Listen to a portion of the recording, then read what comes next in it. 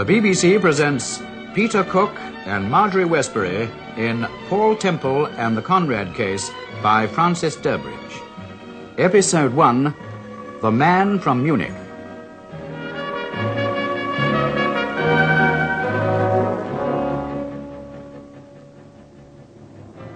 Paul, the clock on the dashboard says 12 o'clock. Hmm? I make it 12.20. I'd no idea it was as late as that.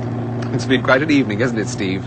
I haven't danced so much for years. No, you haven't. I seem to detect a slight note of sarcasm in that remark. Well, really, darling. These modern dances aren't quite your cup of tea. Are you suggesting that I need a course of six easy lessons? Six.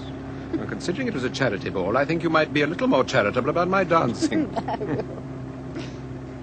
Are you going to put the car away, Paul? no, I'll let Charlie do it. Won't he be in bed? Well, you've forgotten. It's his night out. He's probably been to the Pally, indulging in his weekly bout of rock and roll. Ah, now that's an idea. What?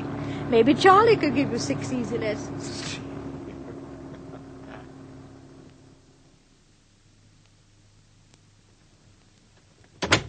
Well, so you're still up, Charlie? Yes, Mr. T. Did you have a good time? No, it was a proper washout. Oh. Old time night, waltzes and foxtrots. Me and Beryl left soon after nine. Bad luck, Charlie. I have a feeling Mr. Temple and I would have done better at the palace. Any messages, Charlie? Uh, yes, a chap telephoned. Wanted to speak to you. It was such a terrible line, I haven't got a clue what it was all about. Well, didn't you get his name? Well, he said something about phoning from France and he'd ring again later. Charlie, did you leave the light on in the drawing room? Oh, yes, Mrs. Temple. Uh, Sir Graham Forbes and somebody's in there. They've been waiting over an hour. I told Sir Graham to help himself to a whiskey and soda. I hope that was all right, Mr. Temple. Yes, yes, of course. Put the card away, Charlie. Ah, here you are. Oh, I'm sorry you've had such a long wait, Sir Graham. Nice to see you both again. Why on earth didn't you let us know you were coming? We've been out tripping the light fantastic. Well, at least we've been tripping. May I introduce Herr Wilhelm Breckschaft of the Munich Police, uh, Mr. and Mrs. Temple. How do you do, Herr Breckschaft? I'm delighted to meet you, Mrs. Temple. Mr. Temple. I'm Delighted to meet you, Herr Breckschaft. Uh, but please, let me get you another drink. Oh, not at the moment, if you don't mind, sir. Charlie told us to help ourselves. I hope you don't mind. Oh, I should think so after all these years. Are you here on holiday, Herr Breckschaft? Uh, not exactly a holiday, Mrs. Temple. I picked Herr Breckschaft up at London Airport this evening. It's an unofficial visit, at least uh, so far as the press are concerned. It is, however, a matter of some urgency, Mr. Temple. Uh, my colleagues and myself are engaged upon an inquiry, and I have come to ask for help from Sir Graham Forbes. Is it a murder case, Herr Breckschaft? No, it concerns a well-known school near Garmisch-Partenkirchen in Bavaria. Not Weldon's. Oh, that is the place. You know it, Mrs. Temple? A great friend of mine was expelled from there. They were very strict in those days. Well, they are still strict. Uh, that is why this affair is extraordinary. Uh, the young ladies are under close supervision, yet one of them has has disappeared. Disappeared?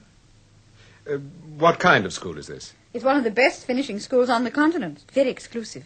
Breckschaft tells me that it's owned and run by a widow, an Englishwoman, uh, Mrs. Elizabeth Weldon. Uh, that's right. Uh, her pupils come from all over Europe, I- indeed from all over the world. How old are these girls? Oh, 16 to 19. And the missing girl? Uh, she's 18. And English. That's why Breckschaft's here. Uh, her name is Betty Conrad. She is the daughter of a Harley Street psychiatrist.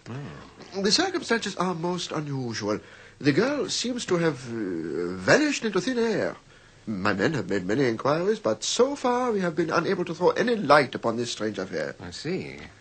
Are there any other facts? Yes, yes, there are many facts, Mr. Temple. We discovered that Betty Conrad had been friendly with a young Englishman named Dennis Harper. Dennis Harper. Yes, yes. He- He works in the Anglo-Continental Bank at Munich. When the girl disappeared, Harper was not to be found, and we thought they might have gone away together. But he returned a few days later. He he had been on a motoring holiday in Austria and knew nothing at all about Betty Conrad's disappearance. Mm-hmm. Indeed, he seemed to be genuinely upset when we told him about it. And what about Mrs. Weldon? Was she upset? Oh, of course, Mrs. Temple. She, she was most disturbed. Nothing like this had ever happened before at Weldon's. Did you question anyone else besides Mrs. Weldon and Dennis Harper? Yes, yes. It's over a week now since the girl disappeared, so we have questioned many people. There's an English novelist named Elliot France. He frequently stays with a friend of his, a, a Countess Decker, who has an estate quite near the school.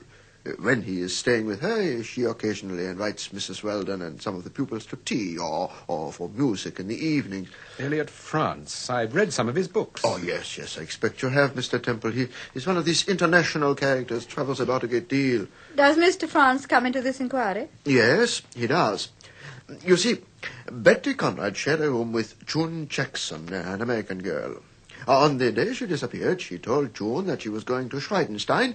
Where is that? Uh, tha- that's the name of Countess Decker's estate. Oh, I see. Uh, She told June that she was going there because she'd been invited to have tea with Elliot France. Oh, She was very thrilled about it. And did she keep the appointment? She caught a bus outside the school and was seen to leave it at the main gates of the estate. Since then, there has been no trace of her. And what did Mr. France have to say about all this? That's the peculiar part about it, Mrs. Temple. He says he hardly knew the girl. Certainly never gave her an invitation. Perhaps the Countess issued the invitation. No, she denies ever having been in touch with Betty Conrad. Did Betty mention this invitation to any of the other girls, or to Mrs. Weldon? No, no, she didn't mention it to anyone except June Jackson. But surely she should have notified someone in authority that she was going to be out to tea. She should have done, Mrs. Temple, but she didn't. I take it the girls' parents have been notified. Yes, and the girl's mother. Well, actually, it's her stepmother. Doesn't seem at all concerned. But the father's extremely worried. I think perhaps Mrs. Weldon is more worried than anyone else, Sir Graham. She's terrified that this affair might get into the newspapers. I've told her that we can't withhold it from the press indefinitely. I suppose she's frightened of what the other parents will think. Exactly, Mrs. Temple. Well, it's interesting, Sir Graham, but I'm afraid I can't express an opinion without first talking to the people concerned. That's exactly what we'd like you to do, Temple. But I can't possibly rush off to Garmisch at a moment's notice. Why not? You always said you liked Bavaria. Yes, I do, but you know jolly well I... Well, Temple, I'll... I'll sleep on it, Sir Graham. Give me a ring tomorrow morning. This morning, darling.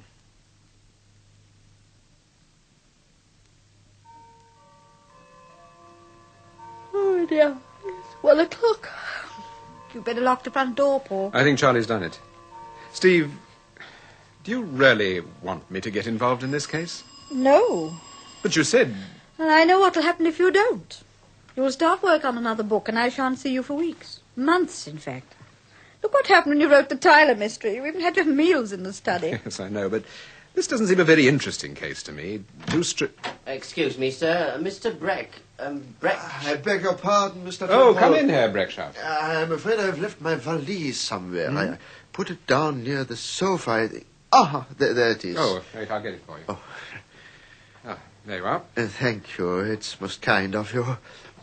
Good night, Mrs. Temple. Good night. Oh, uh, there, there's one small point I forgot to mention. It's not really important, uh, at least I don't think so, but when my men searched Betty Conrad's room at the school, uh, they found in her desk a little um, uh, cocktail stick. Uh, you, you know, the kind you have in a gin and Italian, perhaps. Yes? This stick was rather unusual because the top represented the head of a dog, uh, an Alsatian dog. But why shouldn't she have it? please. Some days later, when I was taking my family for a drive in the country, uh, we stopped at an inn for a drink. It was about 20 miles from the school. They had identically the same type of cocktail stick that we had found in Betty Conrad's desk. And they assured me the sticks were exclusive to that particular inn. The proprietor was very proud of them, in fact. Did you describe Betty Conrad to him? Yes, yes, and showed him a photograph of her, but neither he nor his staff recognized her. Mrs. Weldon had told me that girls were not allowed outside a five-mile radius of the school, unless they were accompanied by their parents. Then how could she have got that cocktail stick? Well, someone could have taken one for a souvenir, I suppose, and given it to her. Oh, that, that's a possibility, of course. Uh, so, Mr. Temple, do you think you will be able to help us? I'm afraid I still haven't decided, Herr Breckschaft. But as I told Sir Graham, I'll, I'll sleep on it. Very well. And now I mustn't detain you any longer. Good night, Mrs. Temple. Good night. I'll see you to the door.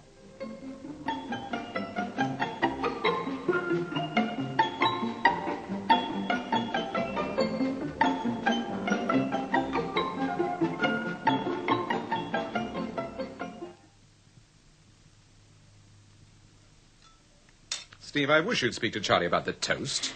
He blames that new machine you bought. He says it's out of adjustment or something. Uh, he's out of adjustment, if you ask me. I'll buy him a toasting fork. Oh, darling. You sound very grumpy this morning. I'll have some more coffee, please. Yes, you shall. Well, Paul, are we going to... We hope you enjoyed this preview. To continue listening to this audiobook on Google Play Books, use the link in the video description.